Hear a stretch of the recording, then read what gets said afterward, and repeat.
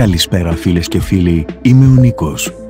Εάν σας αρέσουν τα βίντεο μας, μπορείτε να στηρίξετε το κανάλι μας, κάνοντας ένα subscribe και like, για να σας έρχονται οι τελευταίες ειδοποιήσεις.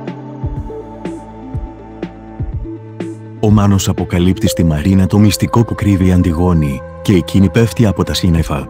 Ο Στάθης περνάει ανέμελες στιγμές με την Εύα στην Αθήνα, και το ζευγάρι έρχεται πιο κοντά από ποτέ. Ο Αποστόλης στέλνει λουλούδια στην ευτυχία, ζητώντας μια δεύτερη ευκαιρία. Η αρετή δείχνει να μην εγκρίνει πια την Ελένη, και ο Στέφανος τη βάζει στη θέση της. Στο μεταξύ η Βασιλική υπόσχεται στον Στάθη ότι θα καταθέσει ως μάρτυρας υπεράσπισης, στη δίκη του διαζυγίου.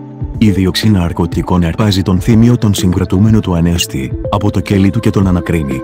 Η αρετή μαθαίνει από τη Χρυσούλα ότι ο Στάθης και η Εύα βρίσκονται σε ταξίδι αναψυχής, και καταρακώνεται. Το οικονομικό πρόβλημα της Μελ πώς λύνεται, καθώς ο Κωνσταντίνος προτίθεται να της δίνει ένα πόσο κάθε μήνα. Η Μαργαρίτα προτείνει στους Στεφανέους να αγοράσουν το θερμοκήπιο της Άννας, για να τη βγάλουν από το αδιέξοδο. Ο Μάνος φανερώνει στον πατέρα του ως έμαθα για την Αντιγόνη, και ο Ισίδωρος θυμωμένος την καλεί στο σπίτι του ζητώντας εξηγήσεις. Η αποκάλυψη του μεγάλου μυστικού της Αντιγόνης διαταράσει τις ισορροπίες στην οικογένεια Βρετάκου, καθώς ο Μάνος και ο Ισίδωρος δεν μπορούν να τη δικαιολογήσουν για όσα έχει κάνει.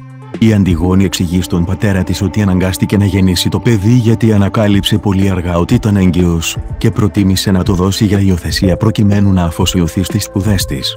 Ο Ισίδωρος αντιδρά σκληρά και τη διώχνει. Σε σύγκρουση έρχεται και η Μαρίνα με τον Μάνο, καθώς η Μαρίνα υποστηρίζει την Αντιγόνη, ενώ ο Μάνος στέκεται στο πλευρό του πατέρα του. Φίλες και φίλοι, τα λέμε στο επόμενο βίντεο.